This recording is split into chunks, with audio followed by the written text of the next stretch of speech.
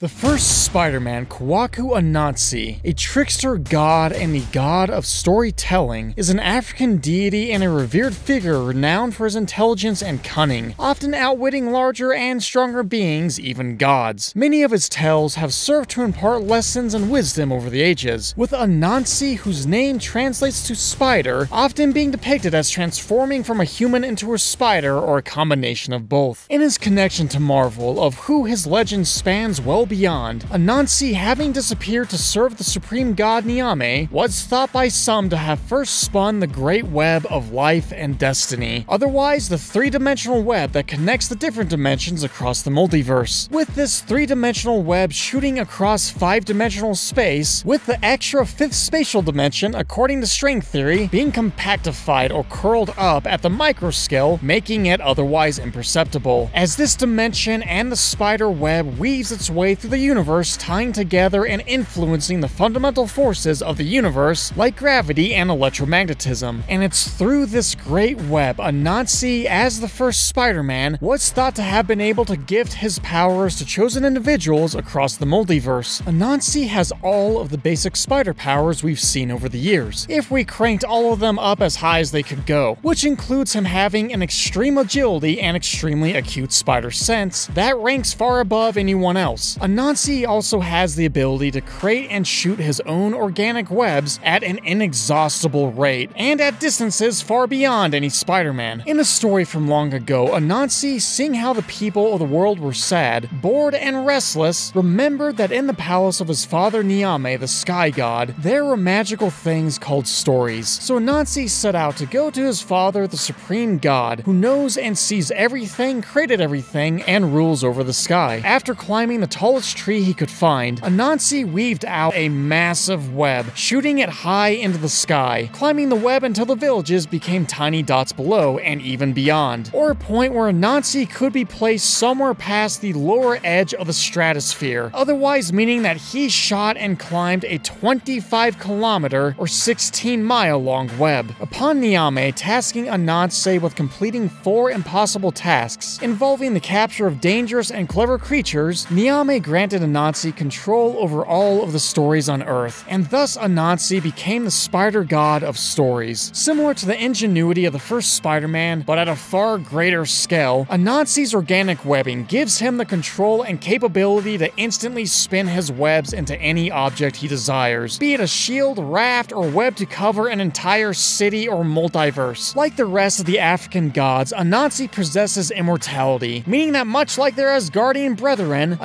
Anansi's cells are hyper efficient, being able to generate ATP, repair DNA damage, evade cellular mutations, and rapidly divide through the cell cycle without ever messing up. Notably, as a god, the telomeres of his cells, the protective genetic caps on its chromosomes, never shorten, and thus being perfect, his body, his organs, never really undergo what is called cellular senescence, or the process where cells stop dividing due to the shortening of their telomeres and basically die, a process closely associated with aging, age-related diseases, and cancer. With this, Kwaku Anansi possesses a healing factor just like that of Wolverine, surviving and healing from otherwise fatal injuries thanks to an immune system strength that makes him incapable of falling ill to any terrestrial disease or pathogen. Anansi's physical strength is stated to be around 25 US tons, or otherwise the strength needed to lift 50,000 pounds or nearly 23,000 kilograms,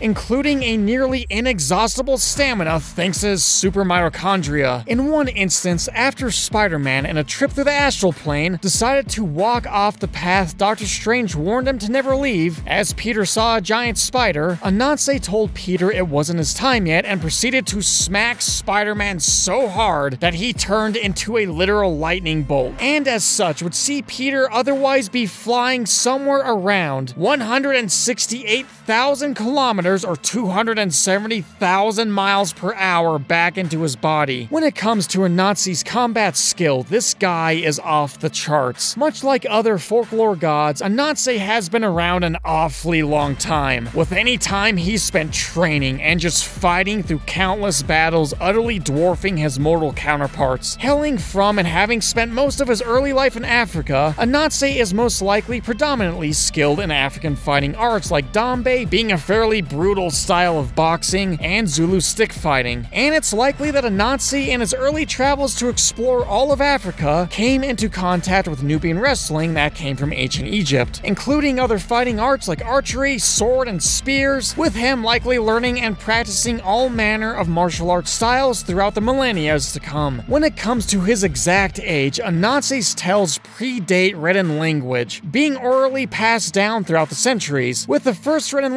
languages showing up specifically in Western Africa where Anansi was from, coming in the form of religious texts in the 7th century or right after the year 600 AD, with Anansi possibly having existed millennia before that, which would put his age somewhere around 3,500 years ago, more or less, making him at least a full 2,000 years older than our God of Thunder. And that's a lot of practice time that Anansi has used to pretty effortlessly beat up the multiple Spider-Man variants like Silk, Gwen Stacy, Madam Web, Peter Parker, and Miles Morales at once. Anansi also shows that he even knows everything that there is to know about each of them, as he has watched each and every one of their stories unfold, witnessing every triumph and every heartbreak, proving that Anansi and his connection to the larger web is something of an interdimensional being, as he is able to pretty easily travel to and from any of the Spider-Man's worlds as he pleases. He also has other magical abilities, being able to not only shapeshift, but at times he has shown the ability to control other spiders to do his bidding, and on top of that, he can also teleport. And with his connection to the energy coming from the web of life, it really looks like he doesn't need a special bracelet to just suddenly up and vanish to another dimension. But Anansi's strongest ability over the other spiders, ranking above his strength, his millennia of fighting skills, and even his superior spider powers, is that he has not only the ability to give spider powers to individuals, but he can also take them away with just a simple tap on the forehead or anywhere he decides to touch you, effectively rewriting that individual's entire genetic code back to that of a regular human in basically a second. And thus, Anansi is the guy who came up with the idea of having spider totems, otherwise having a fleet of other individuals possessing his powers existing across the multiverse, protecting it and keeping the whole thing from collapsing in on itself, killing everything and everyone. But as powerful as Anansi is, as possibly the strongest Spider-Man out there, he still has a major limitation and weakness. However, unlike many of the other characters, I've had to cram years of branching storylines, cool feats, and unique abilities into my head in the span of a few days. Much like other trickster gods, Anansi's main weakness is his own hubris, his overconfidence at overestimating his own abilities, and at the same time underestimating the abilities and cunning of his opponents, especially that of incredibly smart ones that he doesn't think will be able to match his years of experience. And it's possible that it's this weakness that his father Nyame saw in him, that otherwise caused the Sky God to temporarily take Anansi's powers, that caused him to pass it on to others in the first place. But if none of this was very interesting, then here's one last interesting fact. In the Spider-Verse series, Anansi shows that his connection to the Great Web is so strong that he can project himself through space, not only picking off individual abilities, but like other Spider-Men who we go over, as a literal spider, Anansi is extremely vulnerable to a simple chemical used in modern medicine to numb pain and in bug spray known as ethyl chloride, a chemical that has been shown to completely take away their spider powers and possibly kill them. With us going over other characters like Insomniac Spider-Man's feats in these videos right here. See you in the next one.